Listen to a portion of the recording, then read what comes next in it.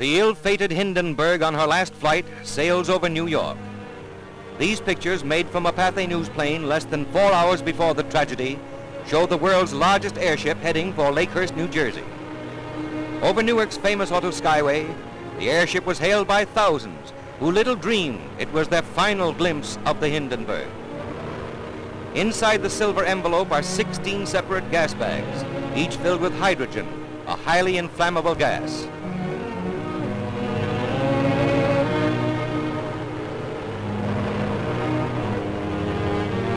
From the ground, you can see the forward control cabin from which the ship is operated.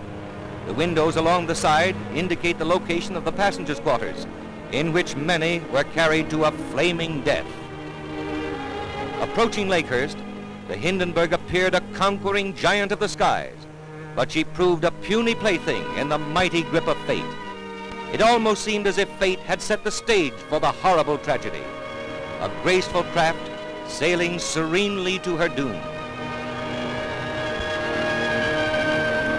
For three hours, the dirigible circled the landing field at Lakehurst, New Jersey, dumping more water ballast than ever before in vain efforts to level off.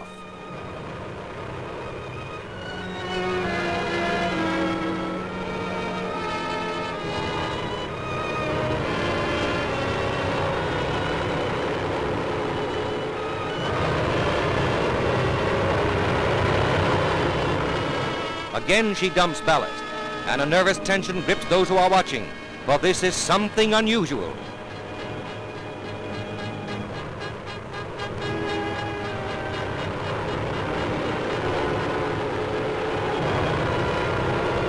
There goes more ballast, but the tail is settling in spite of all that has been dumped. A grim note of impending tragedy.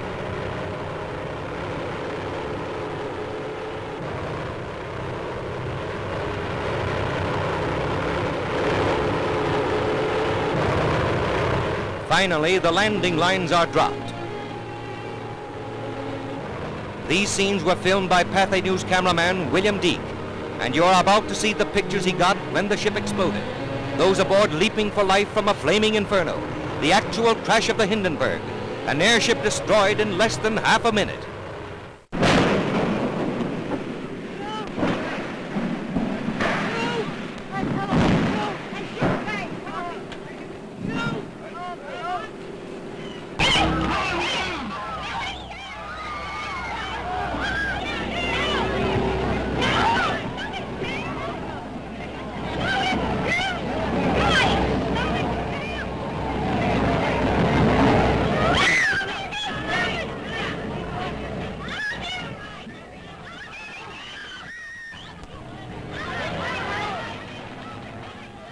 Rushing to the rescue, the heroes of the tragedy dash in, heedless of danger to help the injured to safety, while others, beyond help, perish in the flames.